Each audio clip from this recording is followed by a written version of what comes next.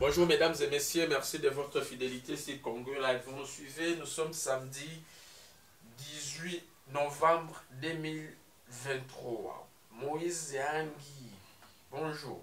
Bonjour à vous, bonjour tout le monde. Vous allez bien? Nous allons très bien. Quelles sont les nouvelles ce matin? Ce matin, nous, nous allons euh, bien. D'abord de notre côté, euh, Goma, notre ville, va aussi relativement euh, calme. Et les territoires de Rutshuru, Massissi et Nyiragongo, il y a une certaine accalmie, bien que la situation elle reste toujours incertaine. Et sur le plan national, déjà euh, la campagne électorale débute pour demain. On lance officiellement effectivement la campagne électorale pour demain. Donc euh, voilà autant de nouvelles qui euh, nous ont ou qui nous préoccupent jusqu'à maintenant. Sur toutes les lignes de front, un calme précaire règne depuis en tout cas vendredi. C'est comme si les, les belligérants observent aussi, ils attendent le, début de la campagne. Je ne sais pas trop, ça fait rire en fait. Mais je crois que euh, ils, ils sont chacun en ce qui les concerne, essaient un peu de, de se préparer ou de monter des stratégies.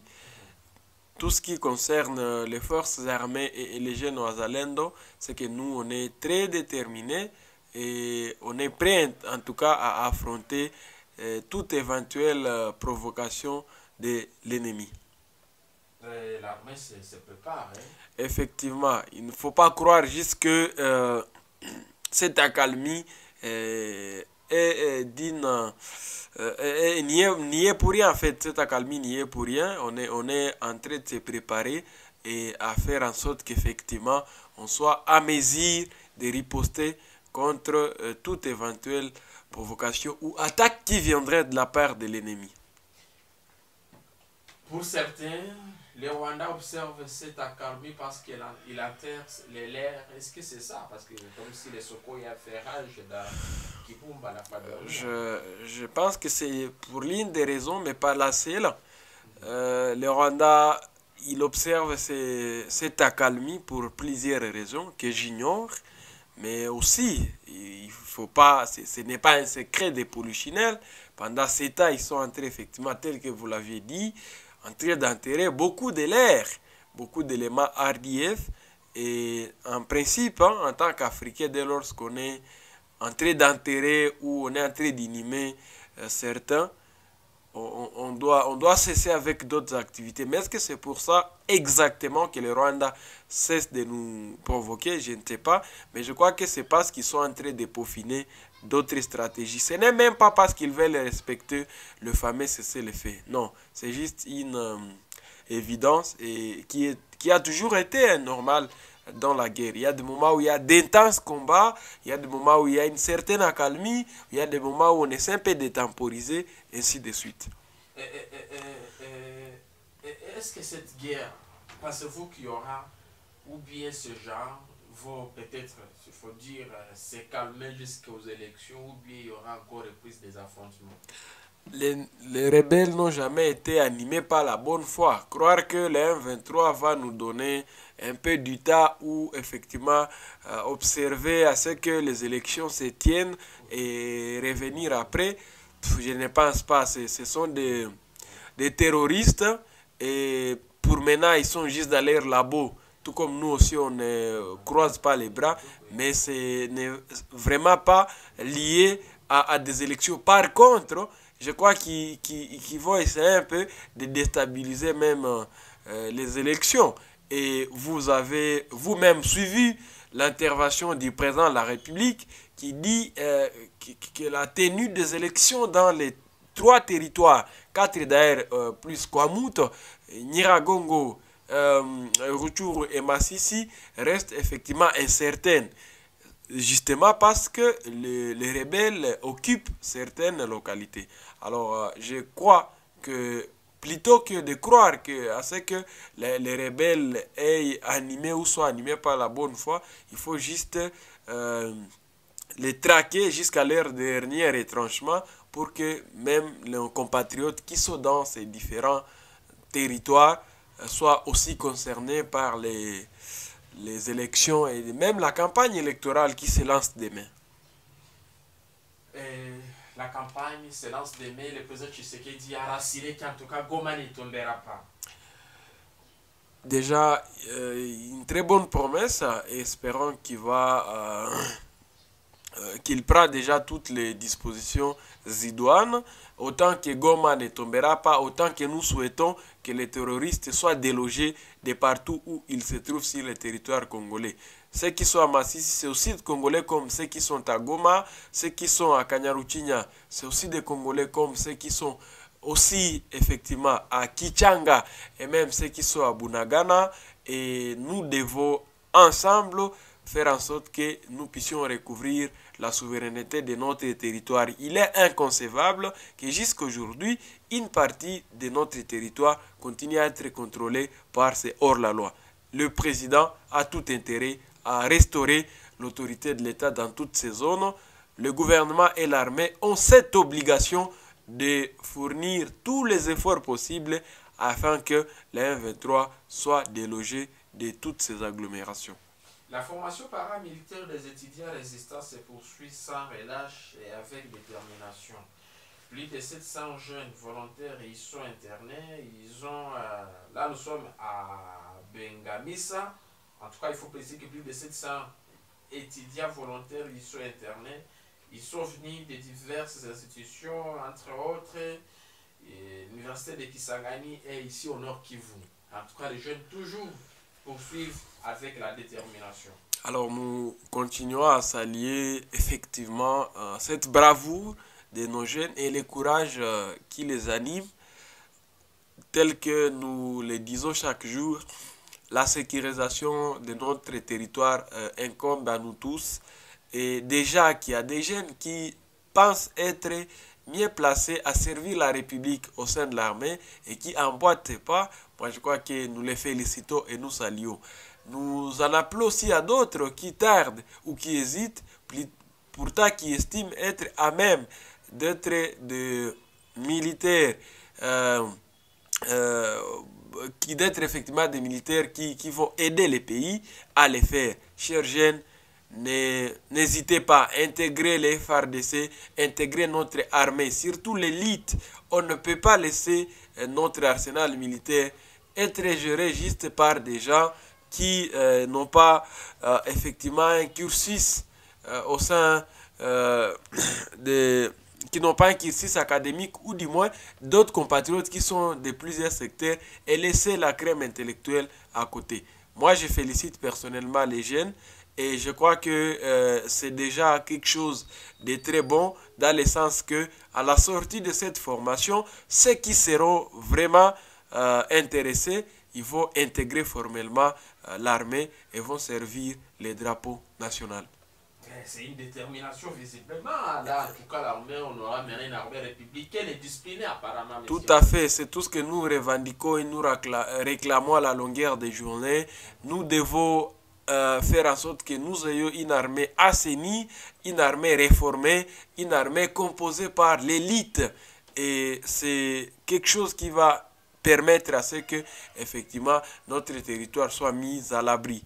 Déjà que les ministères de l'ESI, conjointement avec euh, celui de la Défense, essaie un peu euh, d'harmoniser et- et de prendre des mesures aussi euh, à la hauteur. Je crois que c'est déjà la très bonne voie.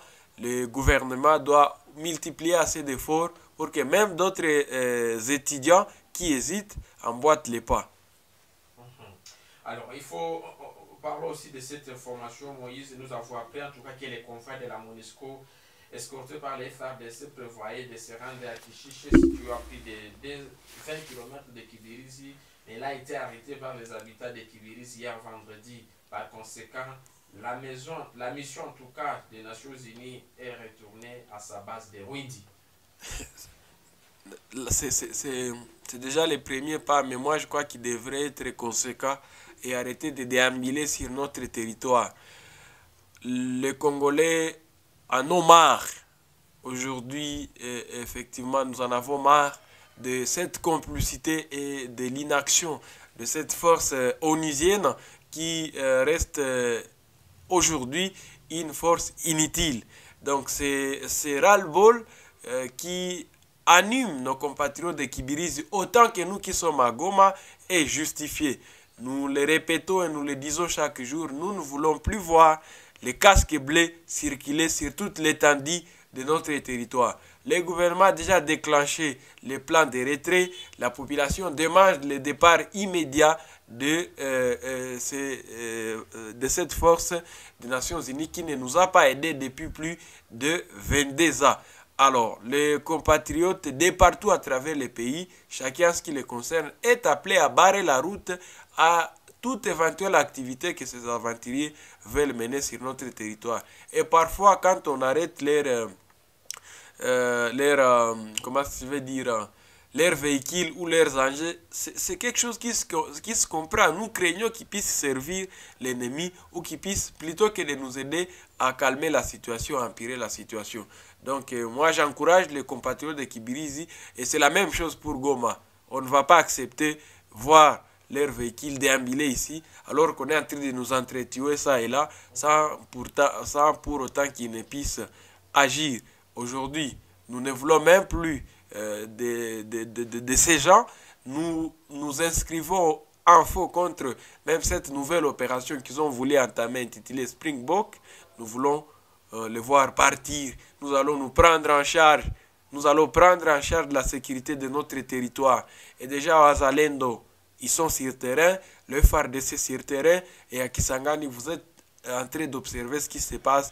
Des jeunes étudiants de Goma viennent de se décider de prendre en main notre destin. Le président de la République, Félix Tshisekedi, l'a euh, repris dans son discours, euh, dans son adresse à la nation euh, dernièrement. Il a dit que le peuple congolais est vraiment aujourd'hui à même de prendre son destin en main. La MONUSCO doit quitter le territoire national. Et, et vous, vous êtes prêt pour prendre votre, Tout à fait, tel que le chef de l'État l'a dit, le peuple congolais aujourd'hui, il est prêt et les Oazalendo le démontrent très clairement. Les étudiants qui sont maintenant là en formation paramilitaire à Kisangani les euh, confirment et, et je vous dis ici que nous allons tout faire pour que nous puissions euh, nous prendre en charge. Nous ne comptons plus sur euh, cette mission des Nations Unies devenue inutile, qui n'est que là pour nous piller, qui n'est que là pour effectivement jouer les jeux des impérialistes en, essayant un peu effec- effectivement de nous dépouiller de toutes nos ressources en lieu et place de nous aider à maintenir la paix. Nous ne voulons plus de la MONUSCO. Nous ne savons pas s'il faut le dire avec quel, euh, que- que- quel mot, quel ton pour que euh, les responsables de cette mission comprennent. Mission des Nations Unies, que vous voulez qu'elle quitte le Congo. parce qu'elle n'a pas été à même de nous sécuriser et, et plutôt aider l'ennemi à, reconquérir des zones en zone. Cette mission qui a pourtant beaucoup d'argent, qui a pourtant beaucoup de moyens, aujourd'hui elle, euh, joue effectivement les jeux euh, des rebelles du 1-23. Elle ravitaille les rebelles du 1-23. Nous avions hum, des témoignages de partout à travers la province qui confirment cela. Et nous ne voulons plus continuer à voir déjà euh, contribuer à notre malheur. Le président lui-même est parvenu, messieurs les journalistes, à se prononcer par rapport à ça. Nous sommes dans un pays souverain. S'il co- s'il pense qu'il faut continuer à s'ingérer dans les affaires internes de notre pays, nous n'allons pas les laisser faire. Nous allons les chasser de gré ou de force. On va tout faire. À Goma, si continuer à déambuler, on va vraiment s'apprendre à un, au besoin usé de tout le moyen qui sera à notre disposition. Si ce sera question de jeter des pierres à leurs véhicules ou à leurs engins, en tout cas on le fera. Si ça sera question, messieurs les journalistes, de se prendre à leurs installations, on va le faire parce que eux, ils ont fait de même à maintes reprises. Ils, ont tiré à bout portant sur des, sur des manifestants pacifiques. Aujourd'hui à Goma, la MONUSCO a tué déjà plus de 40 personnes dans des manifestations pacifiques exigeant leur départ. À Kanyaruchinya, ça a été la même chose dès lors que leur convoi était en train de traverser en transportant des choses qui n'ont pas été contrôlées en amont. Ils ont tiré sur de paisibles citoyens, des déplacés de guerre qui étaient en train de réclamer la paix. Déjà là, à Kibirizi, ce que nos compatriotes ont fait, nous félicitons et nous en appelons à tous les compatriotes de partout, chers Congolais, chacun ce qui les concerne, faisons de notre mieux pour que ces aventuriers ne continuent pas à piller notre pays. Ils sont là pour nous piller. Ils sont là pour effectivement aider les 23 à nous insécuriser. Ils sont là effectivement pour voler nos minéraux et les transporter ailleurs. Ils ne nous aident à rien, nous ne voulons plus de leur présence. de leur présence, mais également il y a une autre mission, l'EAC, qui est sous pression. D'autres aventuriers maintenant de mauvais goût. Nous, on ne veut pas de toutes ces forces extérieures. Le Congo est un pays souverain. Les AC aujourd'hui, mais ce sont devenus des parés d'IA 23. Ils cohabitent avec les rebelles. C'est une force d'interposition. Autant que euh, la MONUSCO. Et les AC, c'est une deuxième MONUSCO, messieurs les journalistes. Et on ne, on ne veut pas d'eux en fait. Nous avions dit à maintes reprises, et la chance qu'il y a, c'est que le gouvernement essaie un peu d'emboîter les mêmes pas. Pas même d'emboîter parce que le peuple est souverain. Le gouvernement ne fait que interpréter le vœu de la population. Le porte-parole du gouvernement l'a dit. D'ici là, euh, décembre, l'EAC doit quitter le territoire congolais. Mais le peuple, lui, ne fait même pas de décembre. Nous, on veut qu'il puisse partir aussitôt, Le plus tôt possible. le plus tôt possible. Que ces gens sortent pour que la SADC entre. D'abord, nous voulons de leur départ. Le débat sur la probabilité d'amener la SADC ici, ça sera après. Et assez dégagé. Monisco dégagé. Et assez dégagé. Monisco dégagé. C'est tout ce que nous disons. Ils doivent dégager, ch- chers compatriotes. C'est tout ça ce que nous demandons, messieurs les journalistes. La mission des Nations Unies, ne- la mission des Nations Unies ne peut pas quitter comme ça. Et vous savez, c'est les Nations Unies, il faut qu'il y ait. Euh, Il y a déjà un plan de retrait qui est déjà signé entre le gouvernement et le Conseil de sécurité. Donc déjà, c'est préparé. Et le ministre des Affaires étrangères a récemment saisi le Conseil de sécurité à travers euh, effectivement euh, une note de six pages. Je vous en appelle à pouvoir exploiter ça. Toutes les revendications que nous essayons de brandir, elles sont reprises dans cette note. Et le président de la République lui-même, c'est quand même le premier citoyen. Il a dit, vous voulez que qui d'autre pas, mais Moïse parle aussi, le président Tshisekedi l'a dit, à moins que ces gens pensent être effectivement les propriétaires de ces pays. Ces pays nous appartiennent. Ce n'est pas pour les Nations Unies. Ces pays appartiennent aux Congolais qui ont euh, consacré d'énormes sacrifices. Ces pays appartiennent à Lumumba. Ces pays appartiennent à Luc. Ces pays appartiennent effectivement à ces compatriotes qui sont en train de mourir au niveau de Kanyaruchinya. Effectivement, c'est un Congolais comme tant d'autres. Ah, vous, vous voulez quoi? C'est un compatriote comme vraiment tant d'autres. par euh, élection demain, c'est la camp- le, c'est le lancement de. Donc, c'est le début déjà de la campagne. Effectivement. Début officiel de la Ouais. campagne électorale. L'opposition a eu du mal à se choisir un seul candidat. Mais quand même, ils ont réussi à créer euh, euh, une plateforme politique Mm. sans Fayoulou. Fayoulou lui qui veut faire euh, Rotsel. Comment vous analysez cela, Moïse? Bon, nous sommes dans la course électorale Vous n'êtes pas dans et la chaque camp, je dis la République, est dans la course électorale. Et moi-même, je suis citoyen, je voterai, j'ai le droit de vote. Vous allez voter pour qui? Mais je- c'est le vote est secret. Je- vous voulez que je puisse exposer ici, hein. Non, ici c'est sur la place publique. Je vais vous le dire inbox. Vous allez, vous allez voter pour qui? Alors, euh, je pense que euh, mon, cœur les connaît. ah, C'est hors micro. Hors micro, ça veut dire quoi pour vous? Non, maintenant là, on a coupé.